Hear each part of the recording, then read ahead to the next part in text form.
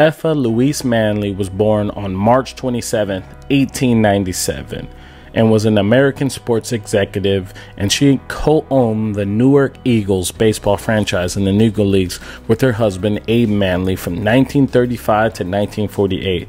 And throughout that time, she served as the team's business manager and fulfilled many of her husband's duties as treasurer of the Negro National League.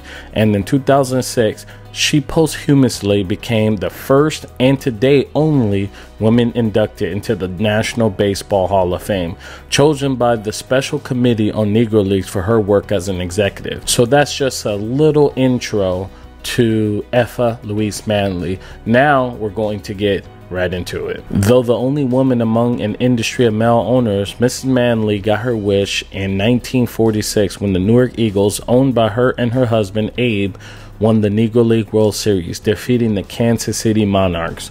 Her career is a testament to her commitment to baseball and civil rights, and to her vision and dedication to creating respect for Negro Leagues baseball players. Born on March 27, 1897, Mrs. Manley grew up in Philadelphia, but her commitment to the game and civil rights began when she moved to New York following high school.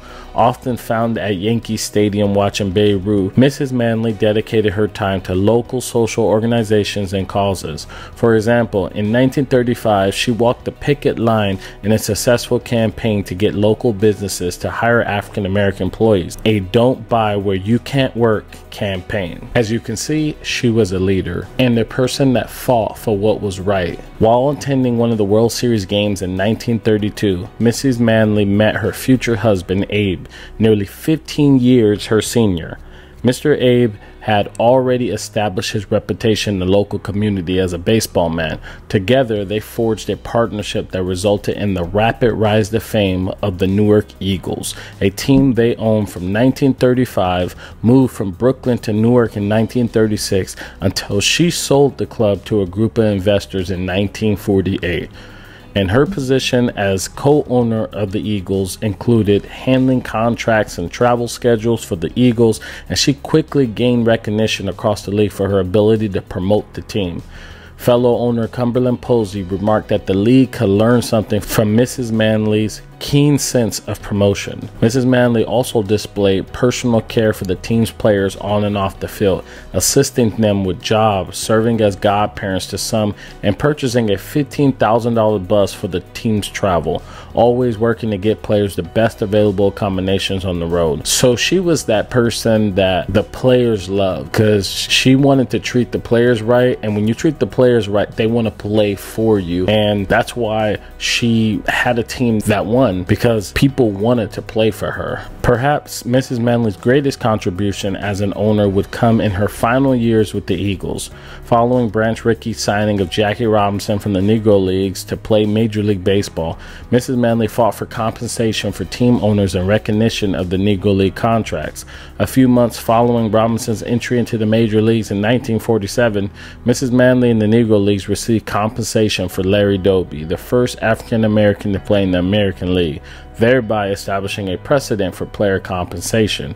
The move showed the legitimacy of the Negro Leagues, giving the teams a measure of respectability never before seen from the majors. Throughout her ownership, Mrs. Manley pushed the envelope to develop a better league, emerging as a leading voice among Negro League owners.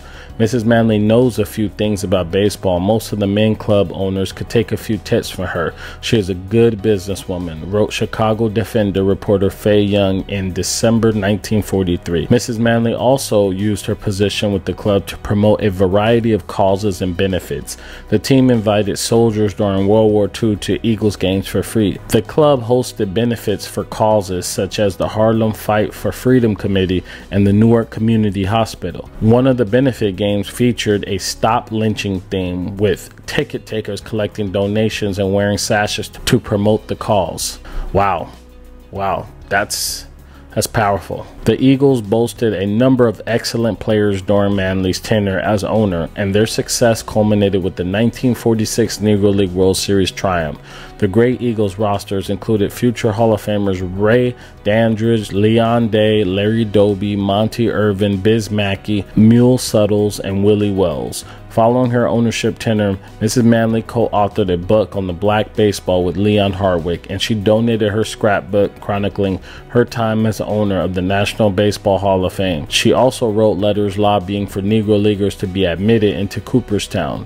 Mrs. Manley passed away on April 16, 1981, and she became the first woman elected to the Hall of Fame in 2006. So, when I was hearing this story, I thought it was pretty cool because she was the first woman up to this point to be inducted into the Hall of Fame, and not many people talk about her. So I wanted to share her story and share how she was so instrumental in the Negro Leagues and how she pushed the needle forward, and she will always be remembered because of her efforts and her love for the game and these players as well. So, with that being said, I want to thank you for watching. I appreciate you. Let me know your thoughts on this. Was this a good video? If it was, click the like button, helps me out with the YouTube algorithm. And subscribe to the channel if you're new here. I'm former Major League Baseball player Jermaine Curtis, and I'll see you in the next video.